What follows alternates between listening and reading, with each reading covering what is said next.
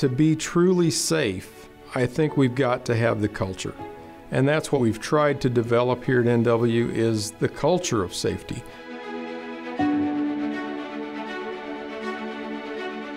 I think NW's culture is made up of three things. It's made up of safety, it's made up of productivity, and morale. If without any one of those three things, we fall short.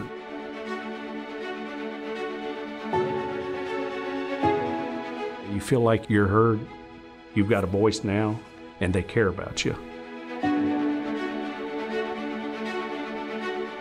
Everyone's involved now. Um, that didn't used to be the case. And I think that's what it takes to have a great safety culture.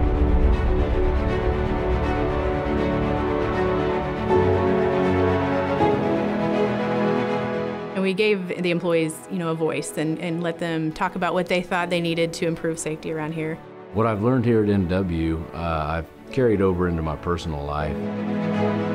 All these things that NW provides just makes it easier to be safe.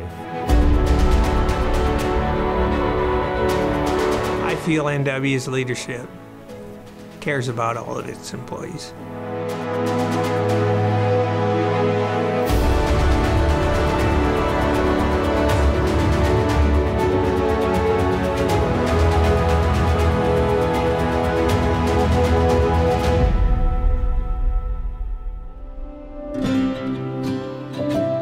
Back in the day, you were more worried about getting as much done as possible, which puts everybody in a hurry. You get into a hurry, uh, that's when accidents start happening. When we first started, you know, there there wasn't we really didn't go to any training. It was all on the job. When I first started here, you were lucky to have one or two guys that would have a hard hat on. 20 years ago, you wouldn't even thought about a tailgate. I mean, it's just sometimes we signed a piece of paper and we didn't even know what we was doing. When I first started here, I had a, I had a simple belt, and I mean, you were, you were pretty much free climbing, um, you know, until you could stop and reattach.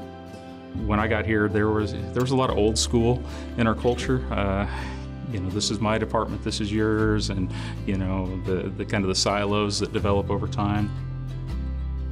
It was something that we was just directed not to talk about. And now everything's out in the open. They want to know about it, they want it to be taken care of. In the earlier days that, that I was here, that there was a focus on productivity. Uh, let's go out there, let's get the job done. Uh, oh yeah, and by the way, be safe. Uh, that's changed over the, the recent years.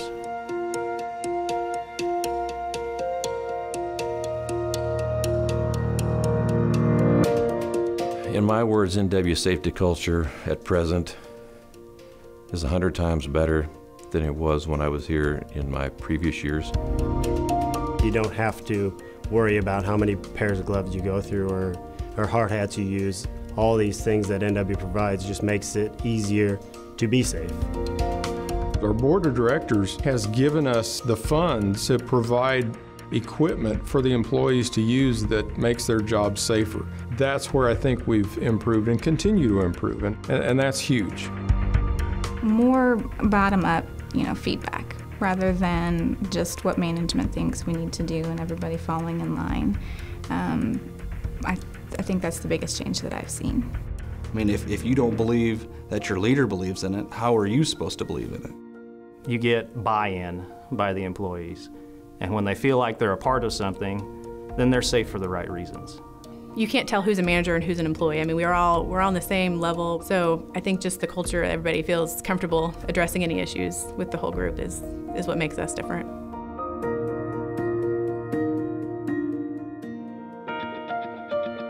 We've evolved into a company that I am incredibly proud to be a part of. We, we've evolved into a family. Today, we pretty much explain the whole job out before we even put anybody in harm's way. When something happens to somebody, every, everybody cares, everybody takes part of. Uh, we, we are, we're, we're one of a kind.